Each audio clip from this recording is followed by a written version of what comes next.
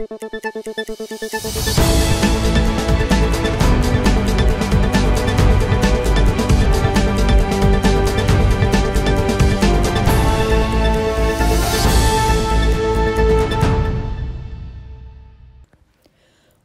to Kayhan Life.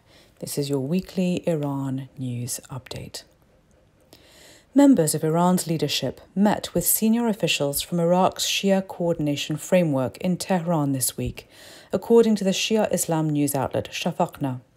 The framework is an umbrella organization for Iraq's Shiite parties, which works in opposition to Iraq's Sadrist movement. The meeting in Tehran is believed to be unusual, and analysts say a sign that Iran is deeply invested in preserving political allies in Iraq. Iran has also been accused of supporting the framework so it can build a coalition with Iran backed Iraqi militias, according to an unnamed source who spoke to Shafaqna. Iran's government is suing Canada for allowing victims of alleged terror attacks to file lawsuits asking for financial compensation from Tehran. The claim was filed at the International Court of Justice, the United Nations highest tribunal, and alleges that Ottawa violated Iran's state immunity by approving the lawsuits.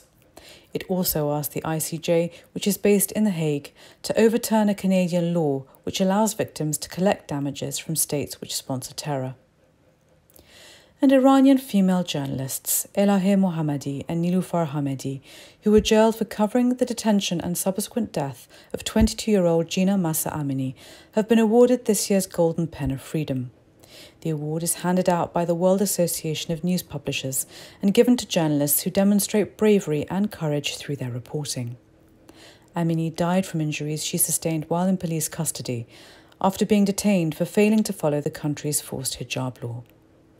ممنون که با ما هستید مراقب خودتون باشید Thank you for listening and stay safe.